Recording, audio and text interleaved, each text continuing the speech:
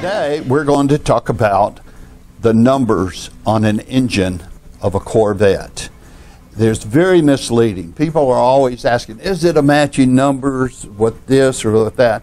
There's so many people that have bought older cars and they were told that it was matching numbers when they bought it.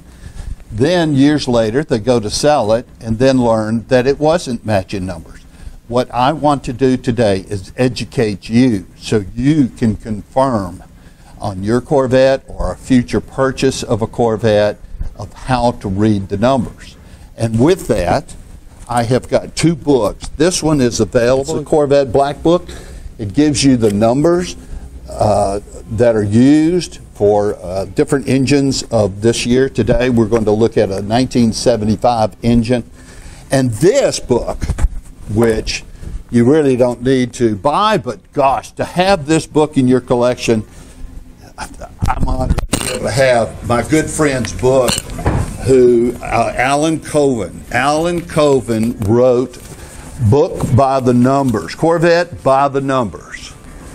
And it is an incredible work of all the time that has gone into this book, and it goes in much more detail than just the engine block. With that, we're going to turn it over to Jack, who's the general manager of the company and has been here 17, 20 years.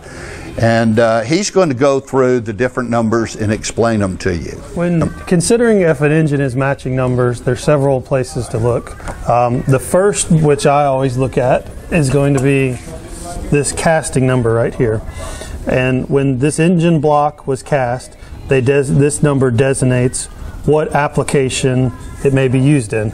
So if we look at that number there, we're going to look on a 75 Corvette, the block number 3970010. So that tells us for this 75 Corvette, that is the correct block casting number. Okay.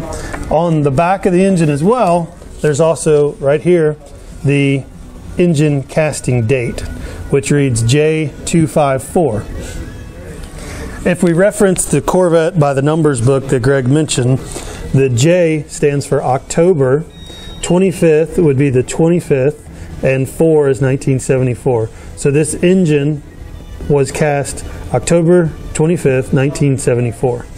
Um, so that tells us that if it's 74 engine going in a 75 Corvette, that, that's very possible. Um, the next set of numbers that we need to look at are the stamp pad. So on the stamp pad, there's two different sets of numbers. Um, the first that we're going to go over is the, the date of assembly. So the engine was cast on this particular one October 25th. Um, it, if you look at the, this says V1029CHB. The V means that it was assembled in Flint, Michigan. Uh, 10 is going to be the month, October. 29th is the day of October.